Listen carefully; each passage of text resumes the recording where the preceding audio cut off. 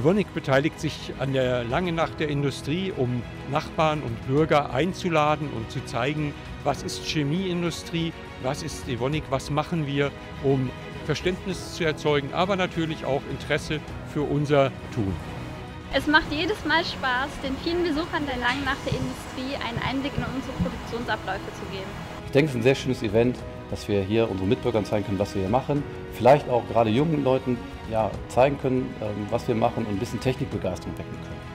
Und ähm, wenn Menschen hier bei uns zu Gast sind und nachher nach Hause gehen und sagen, Mensch, jetzt weiß ich, wie Aluminium produziert wird, was der Werkstoff alles kann, ähm, dann denke ich, haben wir einen schönen Abend hier zusammen gehabt. Die lange Nacht der Industrie ist ein Baustein, ein wichtiger Baustein, wie wir in den Dialog treten können zwischen Industrie und Mitbürger, Bewohnern, Nachbarn, Kollegen.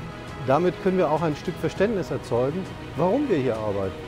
Und dieser Dialog ist das Entscheidende, der das Verständnis und die Transparenz fördern muss. Wir beteiligen uns an der langen Nacht der Industrie, weil wir was für unser Image tun wollen. Wir wollen das, was wir sonst hinter verschlossenen Wänden machen, wollen wir natürlich auch mal der Öffentlichkeit preisgeben.